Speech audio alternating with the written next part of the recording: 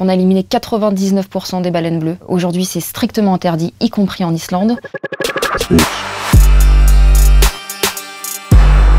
L'Islande a décidé de reprendre la chasse à la baleine cette année. Elle agit en violation du moratoire international sur le commerce de viande de baleine, tout comme euh, la Norvège et le Japon. Samedi 7 juillet, l'Islande a même tué une baleine bleue qui est en danger critique d'extinction. On a éliminé 99% des baleines bleues. Aujourd'hui, c'est strictement interdit, y compris en Islande. L'excuse invoquée par l'entreprise euh, qui a tué la baleine, euh, c'est de dire qu'ils se sont trompés. Alors, ce qui est aberrant aujourd'hui, c'est qu'il n'y a absolument plus aucune justification, ni éthique, ni économique, de tuer des baleines. Aujourd'hui, l'Islande vend euh, ses excédents de viande de baleine au Japon, qui lui-même n'arrive même pas à écouler ses stocks. C'est surtout les touristes qui maintiennent le commerce de viande de baleine. C'est une économie qui est complètement caduque, mais à laquelle euh, s'accrochent certains irréductibles. Donc l'Islande s'est auto-attribué un quota de 191 euh, rorquals à tuer. Ils estiment qu'il y en a environ 40 000, donc effectivement ça semble peu, sauf qu'on oublie qu'il y en avait auparavant 700 000, et qu'aujourd'hui, euh, vu toutes les menaces qui pèsent sur les baleines, il est absolument injustifiable d'en tuer ne serait-ce qu'une seule volontairement. Sea Shepherd est né,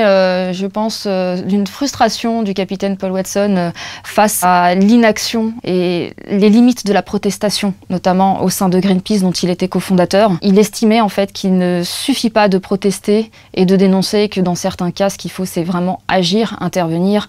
Et quand on agit sur des actions qui sont illégales, ça veut dire que toute la phase de négociation, de lobbying pour faire voter les lois, elle a déjà eu lieu. Donc là, il s'agit vraiment euh, de passer à l'acte, d'intervenir. Avec euh, ces deux limites qu'on s'est fixées, pour ce qui est de l'intervention, c'est de ne jamais blesser personne et d'intervenir uniquement contre les activités illégales. Pour ce qui est légal mais immoral, là, il s'agit effectivement de dénoncer et de faire évoluer les lois, faire évoluer les mentalités. Alors Sea Shepherd a une longue histoire avec l'Islande, hein, puisqu'en 1986, on a coulé deux de leurs baleiniers, les deux baleiniers restants étant ceux qui sont en train d'opérer aujourd'hui. On a un petit sentiment d'inachevé pour le coup. La difficulté, elle se trouve quand on est en eau territoriale dans un pays qui, comme l'Islande par exemple, ou la Norvège, agit en violation du moratoire, mais donc légalise dans ses eaux territoriales la chasse baleinière. Là, on est dans un cas de figure où malheureusement, on ne peut que documenter et dénoncer ce qui se passe. En temps normal, ce qu'on aime faire, ce qui est dans l'ADN de Sea Shepherd, c'est vraiment donc empêcher concrètement le braconnage, et c'est ce qu'on arrive à faire dans d'autres parties du monde.